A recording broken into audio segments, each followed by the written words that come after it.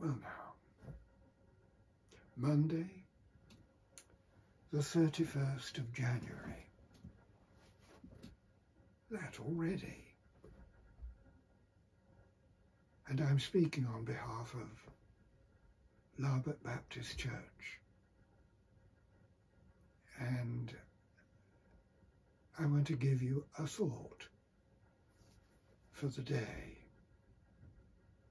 Well, two years ago, almost exactly, I attended a fraternal meeting in Glasgow, at Annisland in Glasgow. It was a meeting of Church of Scotland, Free Church, Free Church Continuing, Baptist, Independent, ministers. I've been going to that fraternal for oh, quite a lot of years and have derived great benefit from it. But two years ago, I attended the fraternal. I remember it for two reasons. First, because due to coronavirus, it was the last fraternal meeting, as far as I know, that we've had at Annisland since.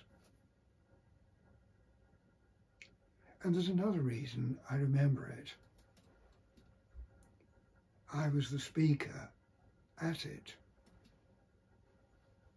Usually, uh, we have speakers who come to us from outside our own membership.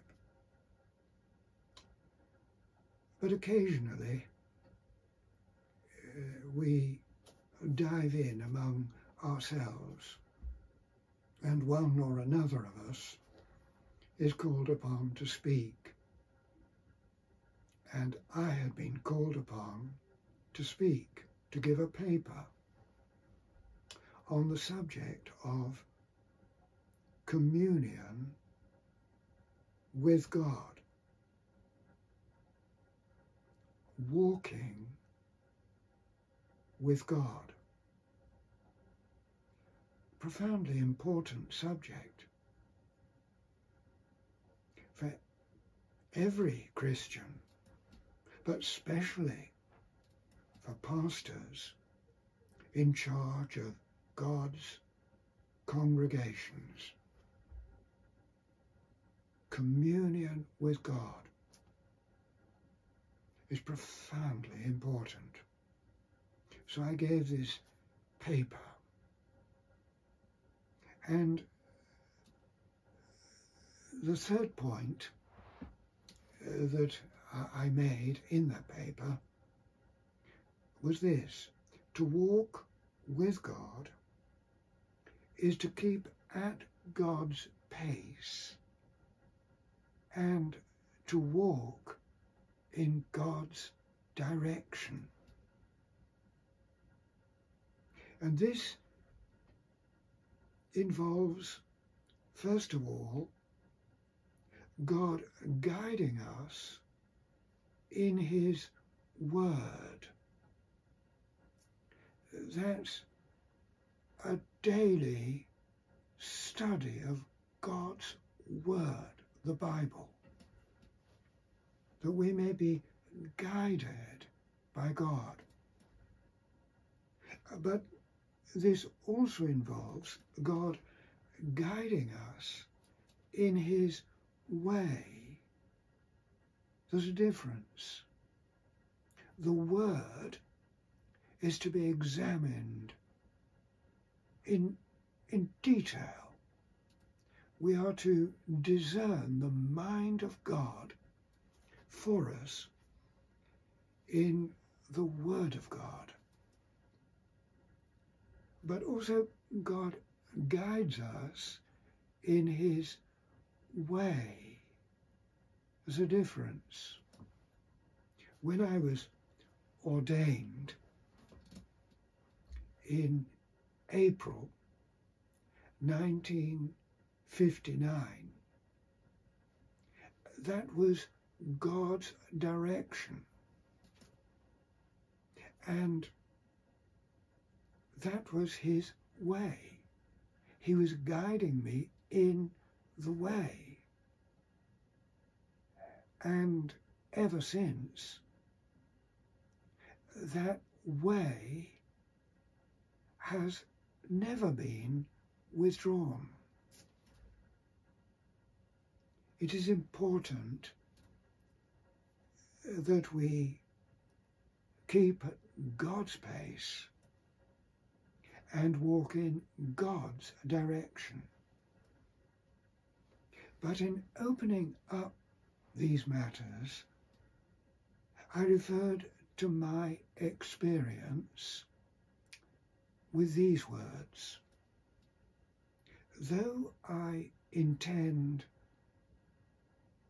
no disrespect, yet even in Scotland, the land of my fathers, I am not where my eternal citizenship is.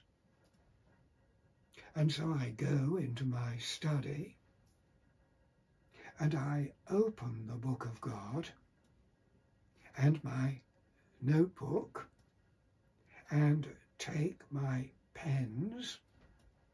Terribly old fashioned, but then I am terribly old fashioned.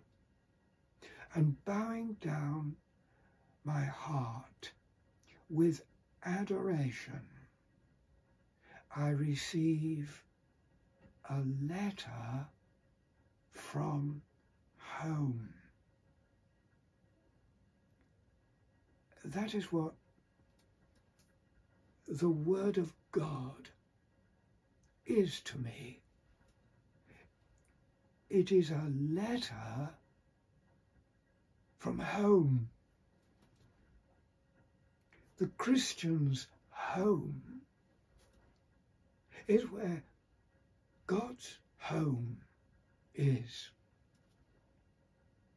The experience of becoming a Christian is a revolution.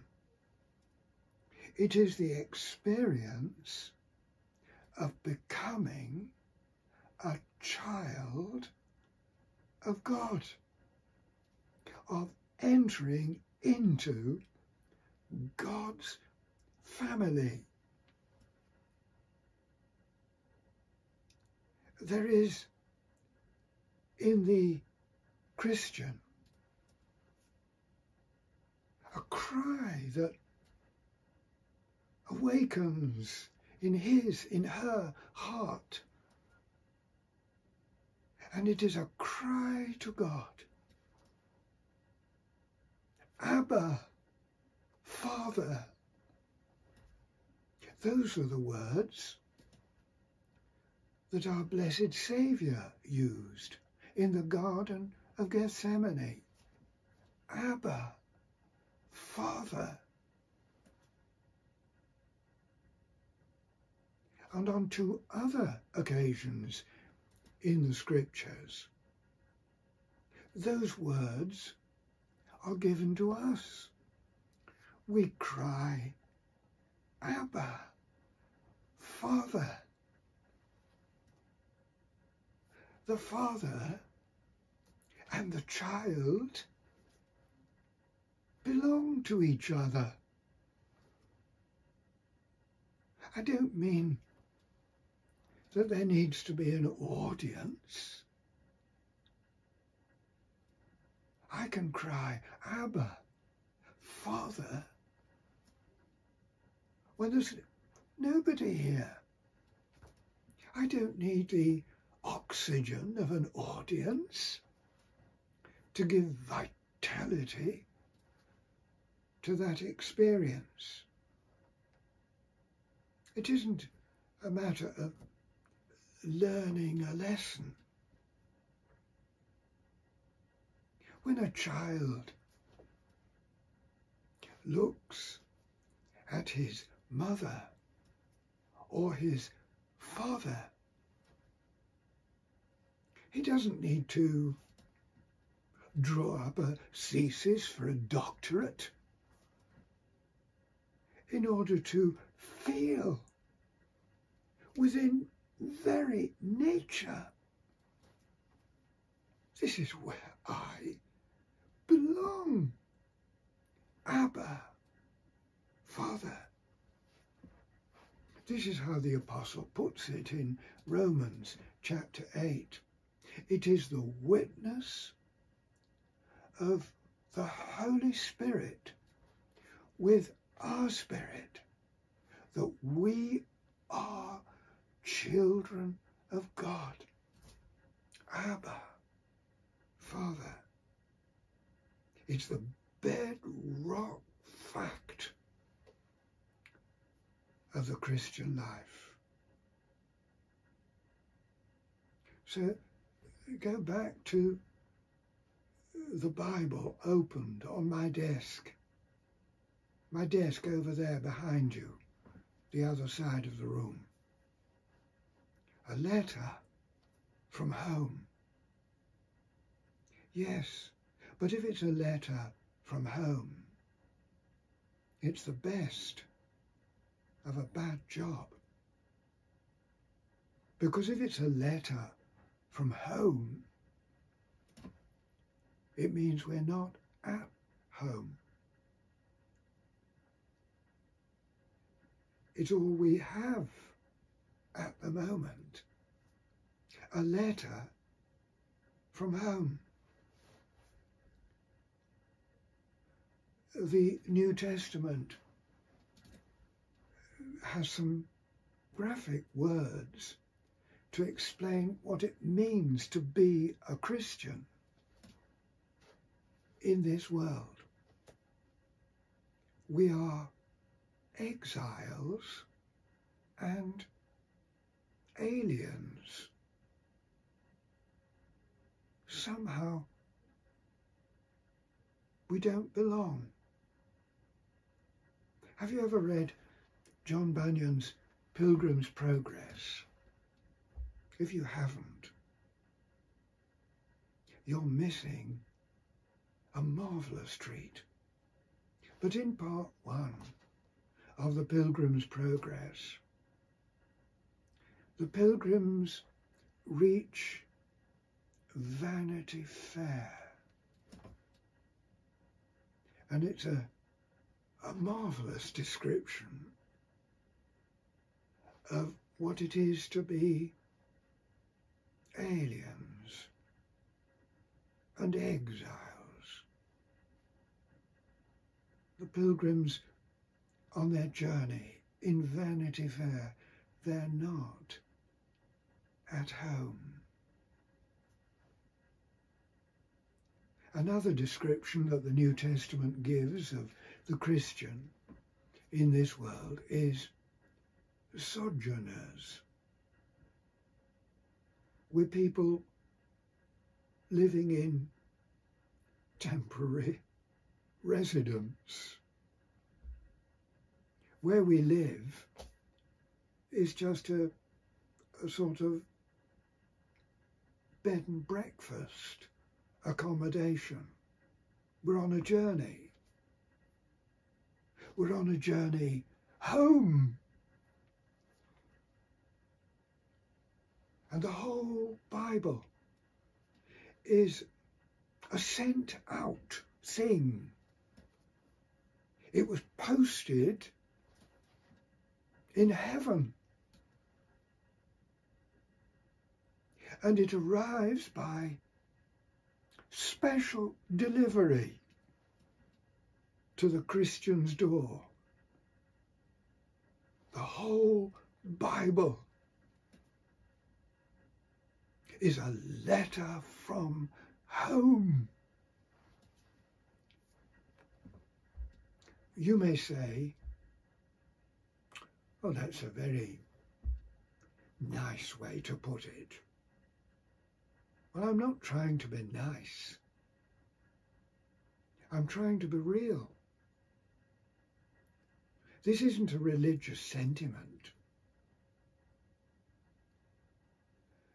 This subject is spoken with and into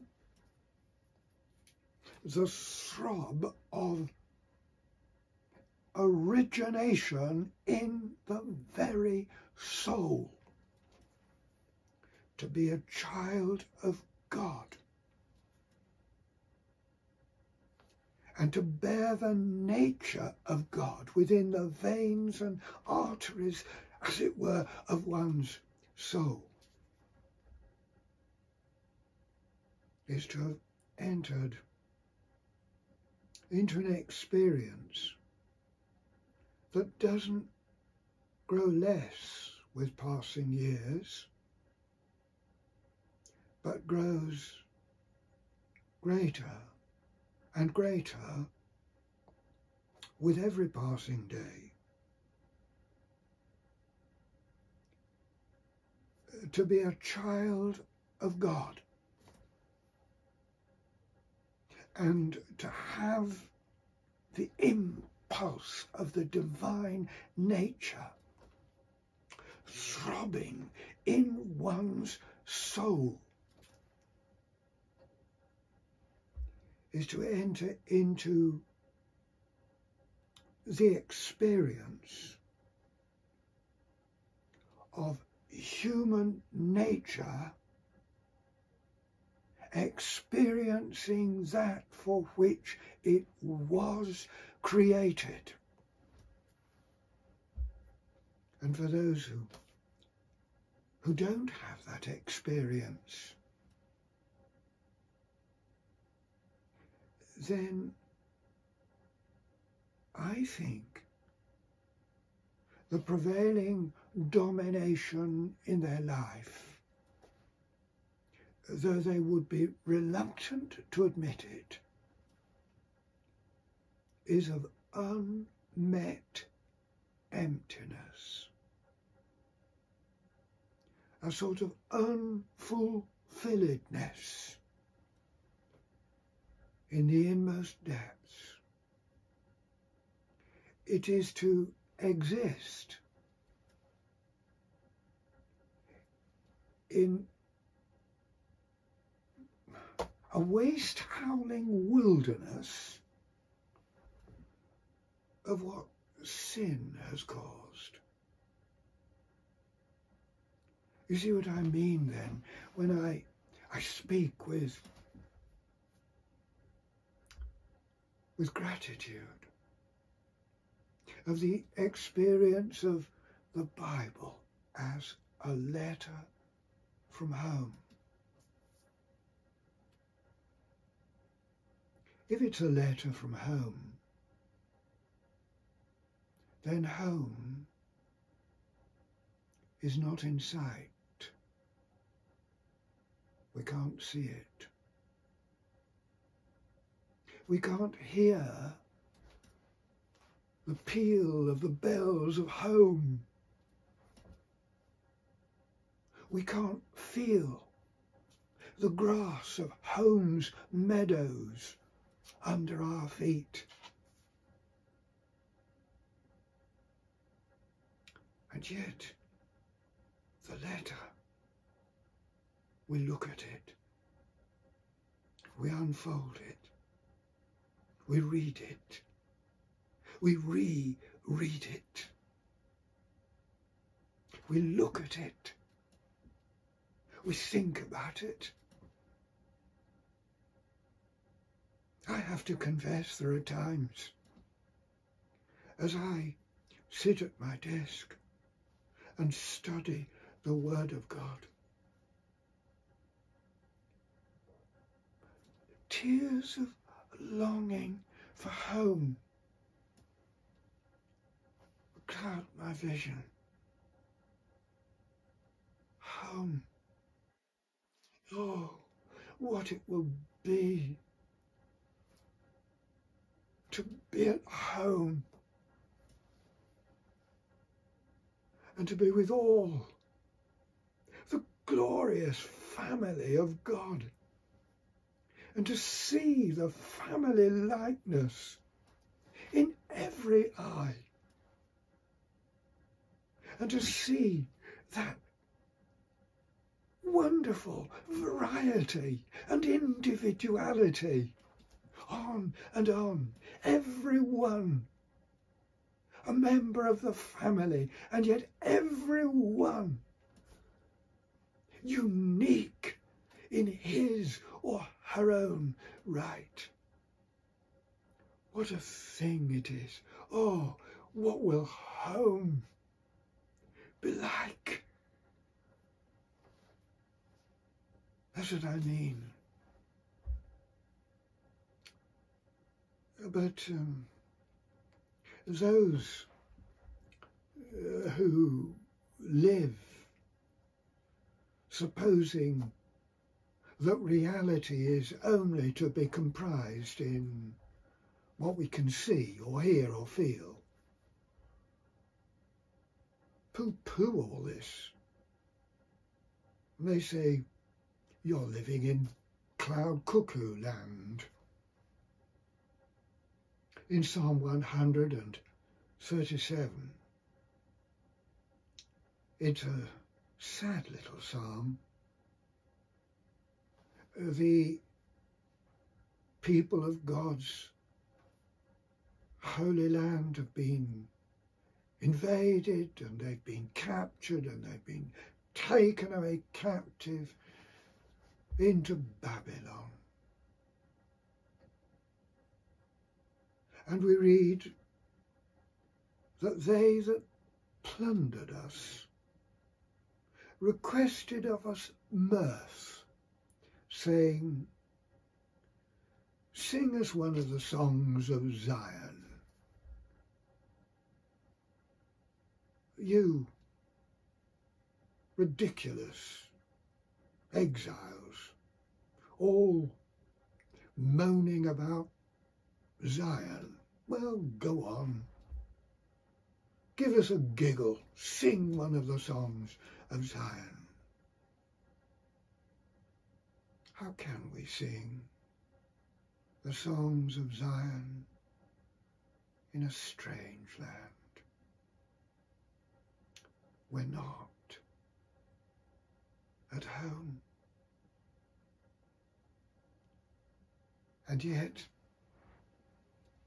I rejoice we read in Psalm 119, verse 162, I rejoice at your word as one who finds great treasure. What is it? It's a letter from home. Do you know what that is? Have you the experience of it? There are various sonnets by William Shakespeare that I've memorized. And this one I've quoted before, but I quote it again because it's it's so apt. In this sonnet, there are five bleak questions to which there is absolutely no answer to be given. And the gloom in this sonnet just grows deeper and deeper and deeper until you think, well, there's no way out. But then, right at the end, Shakespeare absolutely changes everything. This is how it goes. Since brass, nor stone, nor earth, nor boundless sea, but sad mortality or sways their power? How with this rage should beauty hold a plea whose action is no stronger than a flower? Oh, how shall summer's honey breath hold out against the wrackful siege of battering days? When rocks impregnable are not so stout, nor gates of steel so strong, but time decays. Oh, fearful meditation. Where, alack, shall time's best jewel from time's chest lie hid? Or what strong hand can hold his swift foot back? Or who his spoil of beauty can forbid? Oh, none. Unless this miracle have might that in black ink my love may still shine bright. That's what I mean. A letter from home. Well, there you are. I pray God you know the experience of it. God bless you.